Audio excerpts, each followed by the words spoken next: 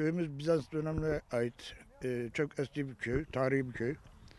E, burada Romalılar falan yaşamış. E, hatta burada Roma dönemine ait bir tane lahit mezarımız var.